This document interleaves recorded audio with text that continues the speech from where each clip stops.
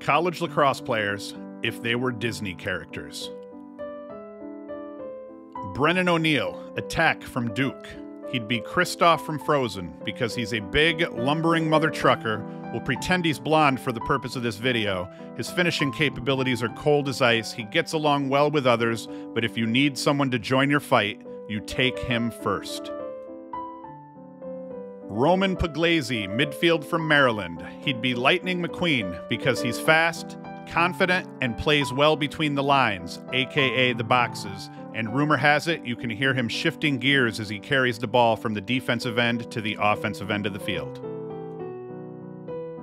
Number three, Nakeie Montgomery, midfielder from Duke. He would be Mickey Mouse because he's the king of crowd favorites. He is a near perfect teammate. He's an unfailing optimist. He holds down the fort for his pals, shares incredibly well, and has an infectious smile. Number four, Marcus Hudgins, defense from Army. He'd be Robin Hood because he's one of the greatest thieves in the land, yet despite his law-breaking ways, remains a beloved figure within his community because after committing grand larceny, he distributes his bounty to the humble masses.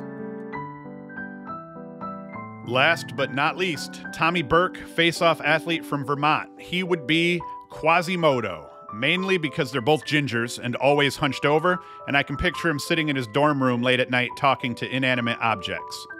Bazinga.